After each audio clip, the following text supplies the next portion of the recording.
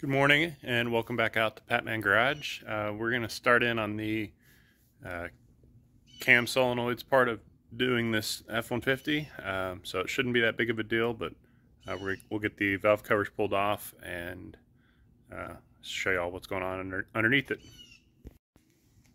So this particular truck is a 2015 uh, 5 liter and we are going to replace the cam solenoids which live under these connectors and they're in the valve covers, uh, under the valve covers. So we'll have to pull valve covers off. Um, so before we do that, we'll have to pull the coils off and kind of relocate some of the breather hoses and uh, a couple little things to get in there. Uh, I'll probably go and pull the intake tube off just to get a little bit more space to work. And uh, we'll get to it. All right, so you got to squeeze this black tab to remove this vent hose and should come right off. And then this guy, uh, there's a plastic tab underneath. That's the motion you're doing is down to get out of that hook and then away from it to open it looser.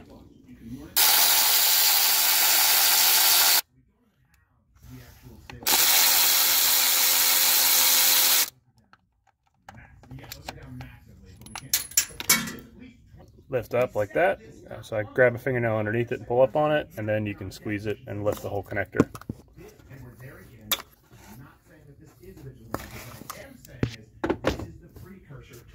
Um, so in my original video of doing spark plugs on a different truck, I just left the coils hanging like this, so I didn't have to deal with the connectors. Given that I got to pull the whole valve cover off, I'm probably going to go ahead and pull these just so I don't have to deal with the, the bulk of the coil sitting there. All right, so I pulled the coil connectors off and I went ahead and pulled the injector connectors as well, just so I get the harness out of the way over here.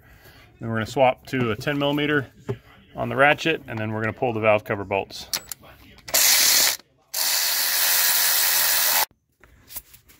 Okay, so I got the two uh, solenoids pulled off this side. This is gonna be your intake, this is gonna be your exhaust side. Um, so they come pretty much straight out. They're, they're not bad at all. Um, one thing to, to check while you have this apart is just gently push on the, the end of the uh, adjuster itself. Make sure that spring is moving freely on both of them. Make sure they're not bound up or anything because you you know you don't want to go into to taking this whole thing apart and then find out that there's something else going on with it while you're uh, the VCT solenoids are not pressing that pin forward correctly. Uh, so the the I got my two removed here, and then my new ones. They're all the same. They came out of this uh, Ford Perform Ford Performance set. Um, it's actually the cheapest way you can buy them, and these are the upgraded parts. So uh, we'll get these out of the Ziplocs and get them installed. And I'll show you real quick on the on the new ones. So on the new one, the solenoid pin is uh, should be moving freely. Um, and that's just the weight of itself moving there. Um, so when you put this in, when you bolt this in, you got to make sure that this guy stays back because you don't want to bind up on the front of that camshaft going in. You'll either bend this pin or you'll damage the uh, camshaft actuator, one of the two. Uh, so be really, really, really careful of that. If you have a really skinny screwdriver, you can kind of wedge it down in there and help make sure that pin stays back. Uh, the bolts stay encapsulated because of that little plastic spacer dude. Um, that will have to get moved up.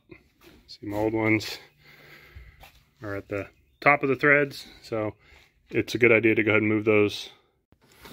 So, like I said, these, these guys just literally slide right up, no big deal there and then you want to make sure that pin stays deployed back and then you're going to just set it in the hole. And there's a alignment pin over here. On this guy this hole is going to line up. There's a little black stem it sticks up on each side. Um, so make sure that that guy that's also helps make sure you don't put them in backwards somehow but um, just all the things you're looking for. So you're just going to set this guy in here. Like that and then when you start to, well, I missed a hole. There you go. Um, So as you start to tighten it down, like I said, keep an eye on that pin to make sure the pin hasn't fallen out. And the torque spec on these that I found is 11 foot-pounds, which is pretty close to what it was when I removed them. Um, so that's what I plan to torque them back to. And finally, we're going to get the valve cover reinstalled. So I got new seals for it. Um, you can also buy a whole entire valve cover. They're kind of expensive for what they are. Um, so these are my two valve covers. One is uh, same part number dash B, and the other one is dash A. So I assume that the A is going to be my driver's side, so we'll pop this guy open and test it out. Um, also wanted to make a point of showing you the joint, the three-way joint between the uh, timing cover, the cylinder head, and then the valve cover um, right here. That that is the seal. It's on the the timing cover, and it actually sticks up just a little bit. Uh, so when you're scraping, try to go around that guy, and then same thing down here at the bottom. Um, there, a little bit of a seal sticking up, um, and then you just need to put a, a little dollop of uh, RTV around those and that'll just help make sure everything seals up nice whenever you have kind of different layers touching each other in different angles and different expansion temperatures and all that. So little dollop of RTV, and then we'll set this valve cover back on there. And again, watch out for your harness going back in it too. Make sure this is up in the high out of the way, and we'll get this thing back in. All right, so what you're looking for on the valve cover gasket itself is these two little openings that have uh, in the gasket face and those are going to go where that timing cover sticks up through it, like I showed you earlier. And then the gasket itself is going to have, uh, around that area, you're going to have one side that's going to be deeper, has a thicker wall. One side's got a thinner wall. And that corresponds, you can see right here on the, the valve cover itself. You got a, a deeper spot on one side and a thinner spot on the other side. Um, so you're just going to lay that, lay those in there first, and then make sure you the routing makes makes the the bend in the gasket makes sense on the the routing there. And then the rest of this will just pop in place. And you just kind of pop it down with a finger and it'll wedge itself in place.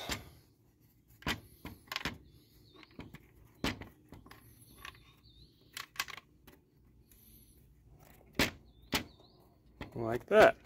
Now when you go back on with it make sure you kind of are when you set it down on the on the head, make sure that there's no uh, gaps. You can take a small mirror and look around it.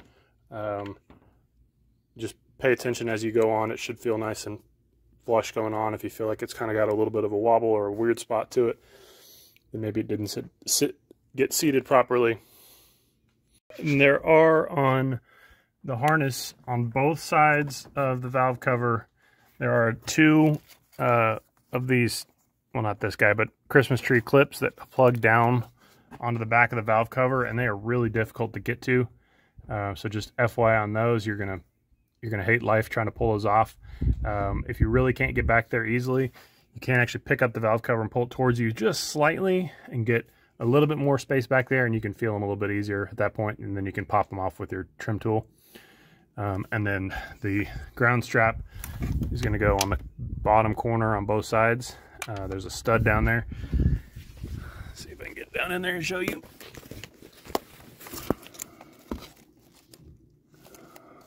So, there's the stud. And the ground wire just sits on top of that guy. Uh, with a nut, 8 millimeter nut. So all the valve cover bolts are going to be 10 millimeters. And then the, the nut part back there is going to be in a 8 millimeter. And then the passenger side has another ground here. And I went ahead and pulled the, this is a 10 millimeter, I pulled the ground off for here. I unplugged the throttle body and I unplugged the purge valve. And that just gave me enough more slack to pull that harness up higher and get it out of the way. So real quick, I want to talk about this, uh, the boot that sits inside, uh, that seals against the coil tower. Uh, I had one of these that stayed on the coil tower. It was the back one on the passenger side. Um, so I had to pry it off of the coil tower. And then what I did, I just laid the valve cover down on the ground. And uh, made this tool with a it's a 32 millimeter oil socket, a six inch extension, and then a uh, adapter to make it a little bit bigger. I basically just you go top down um, with the seal, and I just kind of bumped it a couple times with my hand to uh, get it to fall back in place. Um, so don't freak out if that happens in your case.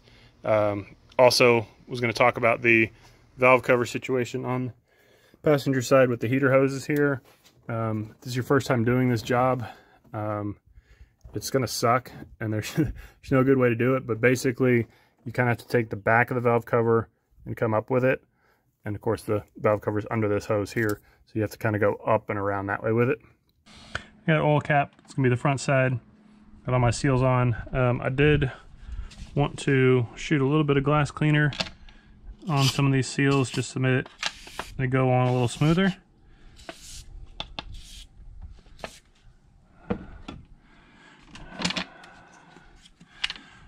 And I come in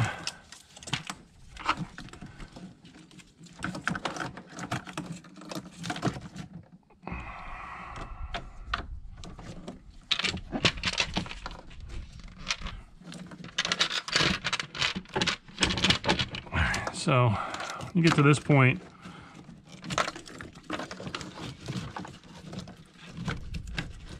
you get to this point, you kind of have to pull up on the heater hoses, get the oil cap, and you got to watch your uh, PCV connection there.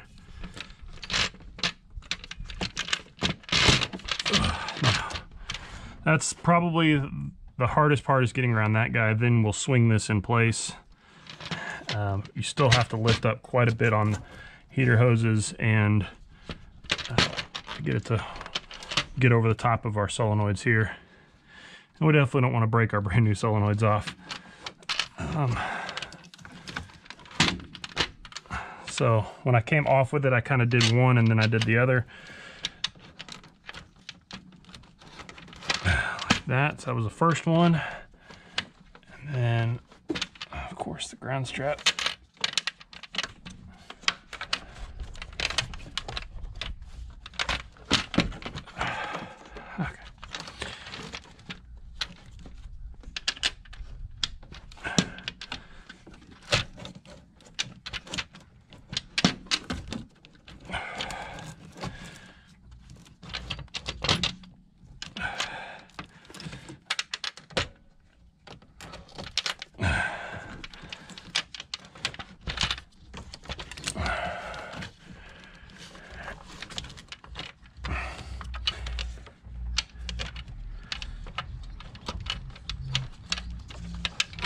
Okay, now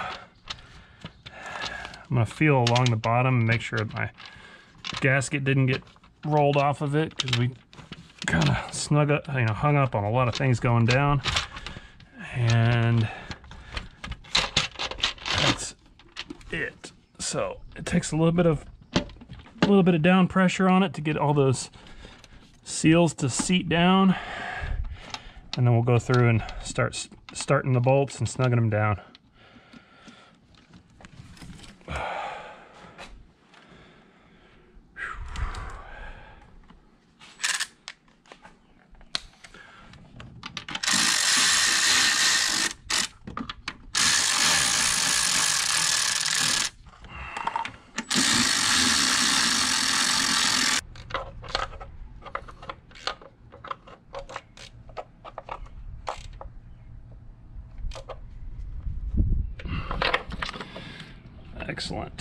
All right. So now we can get these guys torqued down.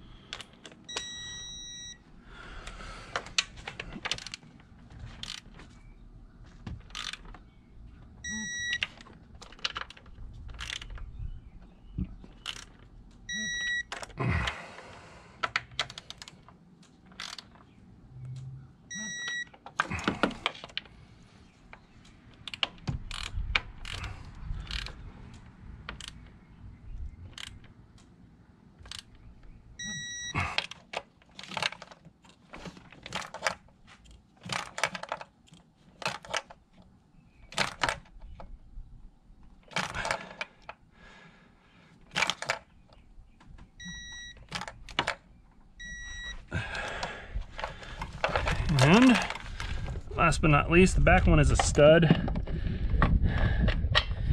versus an bolt. This is where the ground strap gets attached.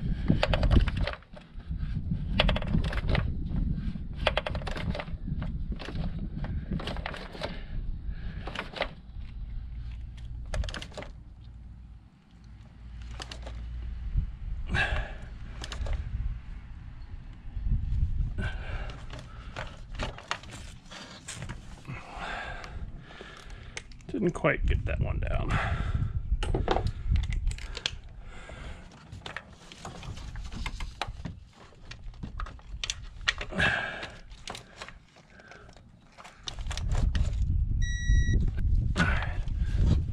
That's better. Okay. So following that, we'll put coils back in. We will start installing the harness, uh, plug in all the injectors, then clip it down, and then we'll plug in the coils. Um, okay, last and final tip while I wrap, wrap up on this video here. Plugging this guy in and it's kind of kind of stiff going on like that. Like I'm I'm I'm squeezing that pretty good and it's it's not actually seating. Um, what happens is there's a lot of dirt and debris that gets lodged in these in the connectors themselves that uh, actually you can see a little bit there on the inside of that guy. Um, what happens is those connectors and those seals get really dry. So again, if you take your connector, get this to stay up right here, and I just hit it with just one little like that of glass cleaner. Uh, we're just going to lubricate that seal. It's deep down inside that connector as it goes in. And we should be in a position now where it just clips on nice and easily.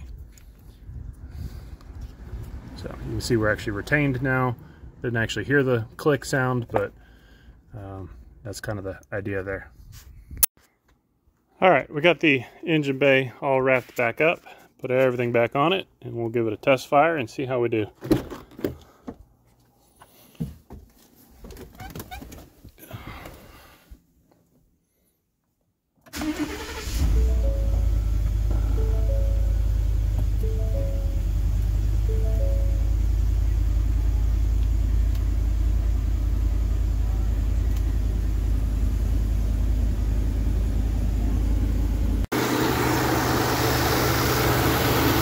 Already sounds a lot happier at idle.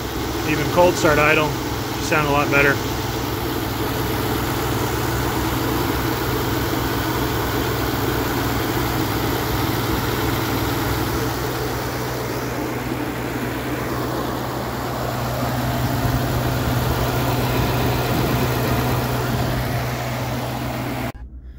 So we're gonna get wrapped up on this truck. We'll take it for a quick spin and, and uh, make sure there's no any issues doesn't have any issues with it, but uh, should be pretty simple. And like I said, I, I appreciate you watching another video of mine, and I will catch you in the next one.